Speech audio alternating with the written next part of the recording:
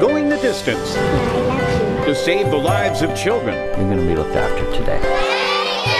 Watch the Herbie Fund, a world of difference, all this week on City News in partnership with American Express Global Business Travel.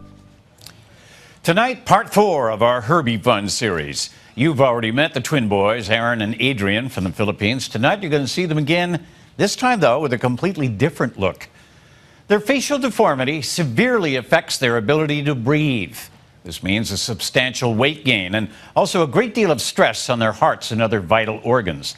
And as Dr. Chris Forrest told us, unless the situation is corrected, the boys will die from complications. Tonight, meet the new Aaron and Adrian wearing their special but temporary headgear. How are you? Nice to see you. They've been doing okay? Yeah. Yeah? It's been two months since Aaron and Adrian underwent highly complex surgery. Let's have a look at you. We checked in with them while they reconnect with surgeon Dr. Chris Forrest. So I think they've grown a little bit, but I think they've got a little thinner. Just gonna make a turn here, Aaron. Surgery for the twins meant rearranging the bones in their faces.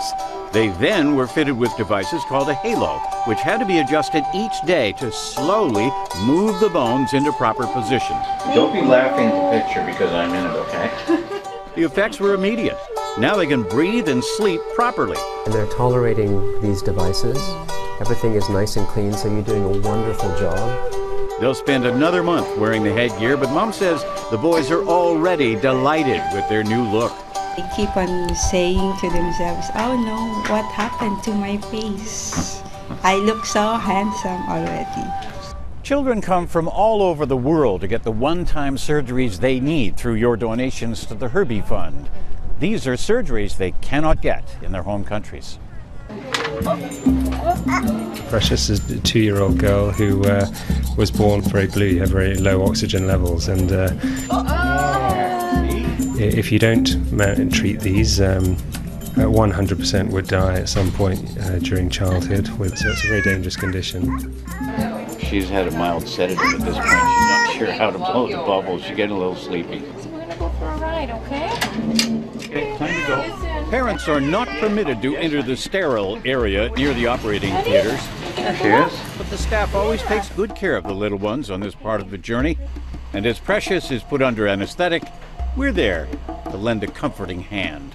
If we can get a successful repair today and get through this operative window, the uh, outlook is actually now extremely good. Um, uh, the minute you finish surgery, the blue child suddenly becomes pink, and that's why it's quite a remarkable operation to see. And uh, the parents notice it straight away as well, which is why it's very gratifying. You spent it all on your new shoes.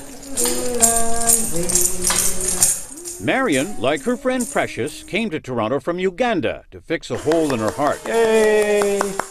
If it's not fixed soon, her heart will suffer permanent damage.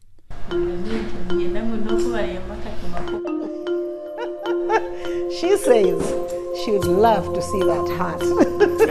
It's about this big.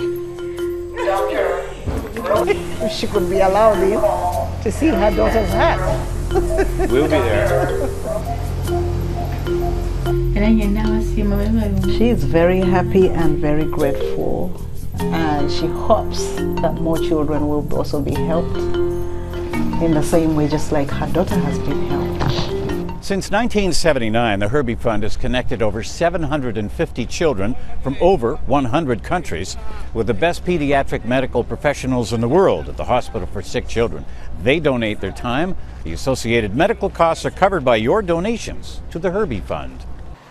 Ah! You know, It's big. you guys don't know how much we are so, so much grateful and thankful. Every single thing that is going to be done and, and is doing for Jaden, we are so thankful. Hey Jaden, how are you doing? He says I'm not happy. Jaden is from the Caribbean island of St. Kitts. He was born with no anus. His father managed to track down a surgeon to perform an emergency colostomy, but that was all that could be done. So we'll not do anything to the colostomy now? We'll do the operation at the bottom. Yeah? With the help of the Herbie Fund and the medical team at Sick Kids Hospital, the family arrived in Canada for the complex surgery that will allow little Jaden to live a normal life. It's going to be okay. Take care of him, okay? Back, a teeny bit. Um, we managed anyway to pull the rectum down and make a proper opening. Little Jaden's surgery is a success. This is great news. Very good news, very good news. Dr. Pierro, who volunteered his skills, feels it was totally worth it. Having the opportunity to, to have this fix is a fantastic uh, gift that they have. And uh, I'm very honored and proud to be part of this organization. Whenever you watch this program, just bless, just bless, just give, just give to this this foundation because they deserve it. They're doing a great job for children all over the world. Did you want to watch? Tomorrow night, in the final episode, we'll check in with all the kids you've seen in this series this week, all of whom can look forward to normal, healthy lives thanks to your support of the Herbie Fund. You can make a donation by going to theherbiefund.com. Please bring the kids and join us Sunday at the Toronto Zoo for a walk for the children. Free parking, a barbecue, free toys for the kids, and of course the animals. Registration for the walk starts at 8:30 in the morning. I'll see you there. Helping children from around the world is now as easy as putting one foot in front of the other. One, two, three, let's go! Join Walk for the Children in support of the Herbie Fund at Sick Kids. Sunday, August 24th at the Toronto Zoo. Enjoy a 5K walk and a day of fun for the family. Jump up!